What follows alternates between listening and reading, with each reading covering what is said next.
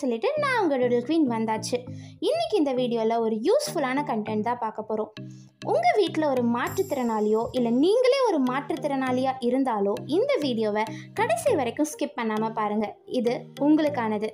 மாற்றுத்திறனாளிகளுக்கு travelling concession அப்படிங்கிறது நிறைய இடத்துல தந்துட்டு இருக்காங்க ட்ராவலிங் கன்செஷன் அப்படிங்கிறது என்ன அப்படின்னு பார்த்தீங்கன்னா அவங்க வாங்குகிற டிக்கெட்டுகளில் பாதி காசோ இல்லை அவங்க எஸ்கார்டுக்கும் சேர்த்து ப- ஒருத்தருக்கு வாங்கப்படுற காசை தான் டிக்கெட்டுக்கு வாங்கிட்டு இருக்கிறது தான் ட்ராவலிங் கன்செஷன் அப்படின்னு சொல்கிறாங்க இப்போ இந்த ட்ராவலிங் கன்செஷன் எங்கெங்கெல்லாம் முக்கியமாக கொடுத்துட்ருக்காங்க அப்படின்னு பார்த்தீங்கன்னா ட்ரெயின் டிக்கெட்ஸ்லேயும் பஸ் டிக்கெட்ஸ்லேயும் தான் இந்த ட்ராவலிங் கன்செஷன் கொடுத்துட்ருக்காங்க.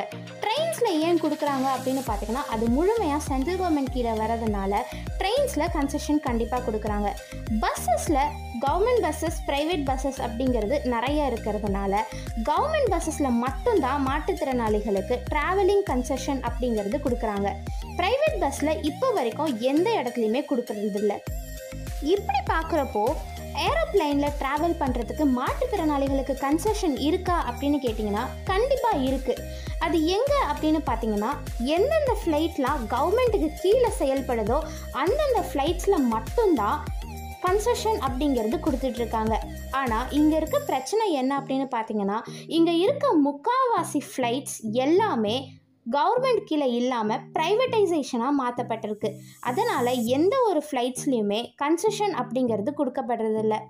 நம்ம இந்தியாவை பொறுத்த வரைக்கும் ஏர் இண்டியா அப்படிங்கிற அந்த கம்பெனி மட்டும்தான் கவர்மெண்ட் கீழே இருந்துட்டு இருந்தது. ஆனால் அதுவும் இப்போது கவர்மெண்ட் கீழே இல்லை. ஆனாலும் அவங்க அந்த கம்பெனி மாற்றுத்திறனாளிகளுக்கு கன்செஷன் கொடுத்துட்டு தான் இருக்காங்க.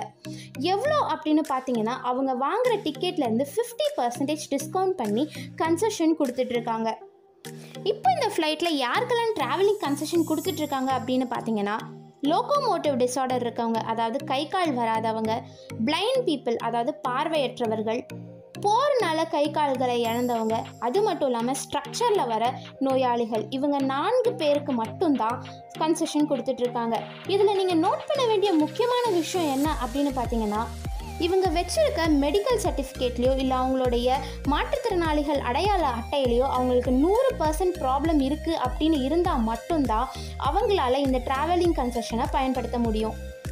கண்டிப்பாக இந்த வீடியோ உங்கள் எல்லாருக்குமே யூஸ்ஃபுல்லாக இருக்கும் அப்படின்னு நினைக்கிறேன். நீங்கள் ஒரு மாற்றுத்திறனாளிகளாக இருந்தீங்க அப்படின்னா இந்தியாவுக்குள்ளே எங்கே போகிறதுனாலும் ஏர் இண்டியா ஃப்ளைட்டை யூஸ் பண்ணி போனீங்க அப்படின்னா அங்கே நீங்கள் ட்ராவலிங் கன்செஷன் அப்படிங்கிறத பயன்படுத்திக்க முடியும். இதே மாதிரி இன்னும் நிறைய வீடியோஸ்க்கு நம்ம சேனலுக்கு சப்ஸ்கிரைப் பண்ணி ஷேர் பண்ணி மறக்காமல் லைக் பண்ணிவிடுங்க